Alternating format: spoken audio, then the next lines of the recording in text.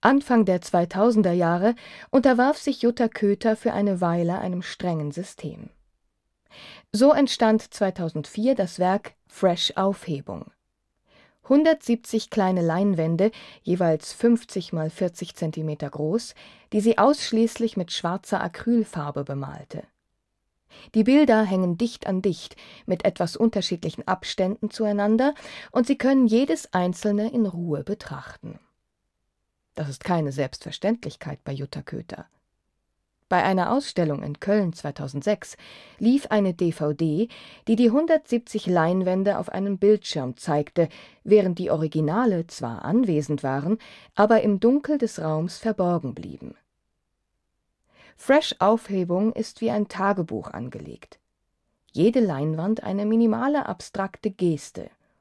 Hier ein paar blasse Linien, dort zarte Schlieren, ein paar wilde Kreise, düstere Eruptionen von Schwarz, gebändigt durch das kleine Format, und dazwischen immer wieder ein X, als habe Köter etwas ausgestrichen, ausgelöscht, aufgehoben, wie der Titel suggeriert? Die Farbe? Die Malerei? Das bleibt letztlich ungeklärt.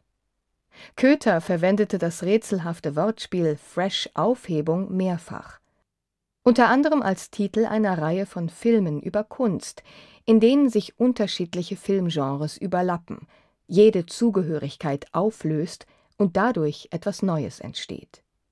Eine Zwischenwelt, in der Verlust auch befreiend wirken kann. Und an dieser Stelle treffen sich die Filme und diese 170 Leinwände.